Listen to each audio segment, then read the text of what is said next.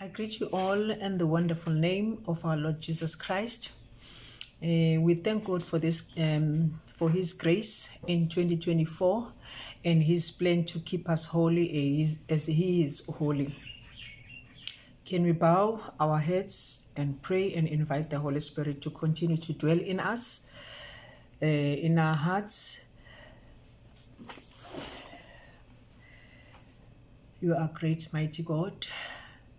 We thank you for this moment, Lord, where we bow down in our knees and seek your faith, your face, and seek your word that is our light. We are trusting you, Lord, for each and every step that we are taking to become holy because you are holy. You have given us the Holy Spirit to lead us. May that Holy Spirit dwell in our hearts. May it continue to enlighten us. May it continue to shape us and mold us to whatever you, Lord, that you want us to be.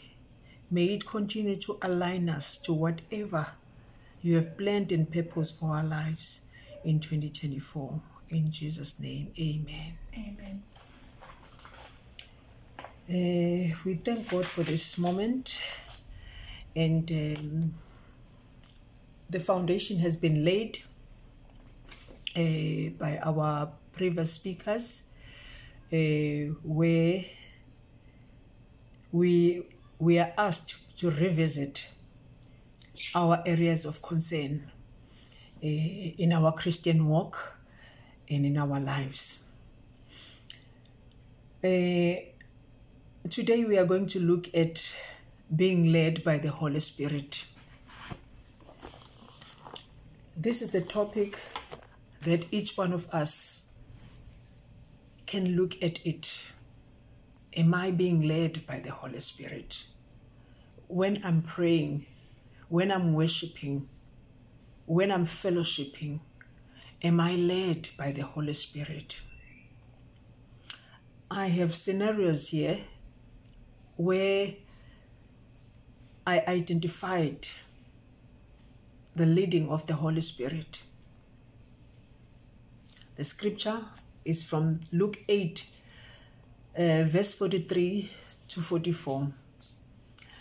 The woman with an issue of blood, she was suffering for 12 years. If you count that 12 years in terms of days, um, I cannot even continue to understand how she had survived. But I looked at her faith. Her faith was very strong. But it shows that we cannot do anything on our own. Uh, because if she was doing it on her own, she could have, you know, given up along the way because her condition didn't allow her to be amongst the people, but she continued. Her faith made her strong because imagine someone having to lose blood every day, and that blood that she was losing was making her weak. But our God says, when we are weak, but when we go to God, He makes us strong. I saw this woman as someone who was led by the Holy Spirit to sustain her faith so that even other people, because once we are holy, the Holy Spirit that, is, that dwells in us will also manifest to other people and that they will see this God and want to have the same God that made us so strong, that made us endure this pain. So I see this woman depending on God for her survival. The plan that she had, no one could have maybe told her that this is the way that could help you. But she trusted God that God will help him, help her, and that God will guide her on how to do it. So that's the purpose of the Holy Spirit in our lives. He guides us as long as we trust Him, He guides us and leads us to whatever is just according to God's will. So I see this woman portraying the understanding of being led by the Holy Spirit. The Holy Spirit is important to us. Maybe she heard what Jesus was saying when he healed other people and he trusted in his word that he was saying to those people. And he said, One day will come. That day came. And God said to him, With your faith, you are healed. I don't know if Jesus knew that she has been suffering for 12 years. But all that didn't matter at this time. She had to follow the Holy Spirit. She had to be led by the Holy Spirit to touch that hem of his garment. And suddenly, she received her healing. We learned that the holiness is the work of the Holy Spirit.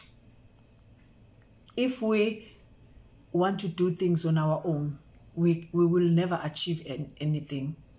But we are also seeing in Proverbs 3, from verse 5 to 6, God says, Trust in the Lord with all your heart. I see this woman trusting in the Lord with all her heart, day in and day out. Maybe she was practicing what God has taught us that we must pray in all seasons. We must pray without ceasing. I see her praying that, God, remember me. God, remember me. You have promises. You have promised me as well that you'll never leave me nor forsake me. You have promised me that you'll guide me. When, when you call me, when you called me, you have promised that when you called us, you are going to teach us, you are going to guide us.